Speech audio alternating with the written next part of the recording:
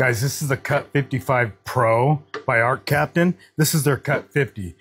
Check out the size difference between the two. This is so much smaller, more compact, yet it packs a much bigger punch. This thing cuts so much faster, cleaner. Guys, and it also has a non-touch pilot arc. Check this out. Now, don't get me wrong, the Arc 50 is great, but you do have to touch the steel to start the arc. The Cut 55 Pro, you don't have to touch the steel, which is great because this will burn off any rust or paint or anything that is on your steel. You can just burn right through that before you even get to it. Guys, this has app control. You can turn it up and down with your app if you wanted to. How great is that? Guys, Arccaptain is having a sale right now on both of these, actually.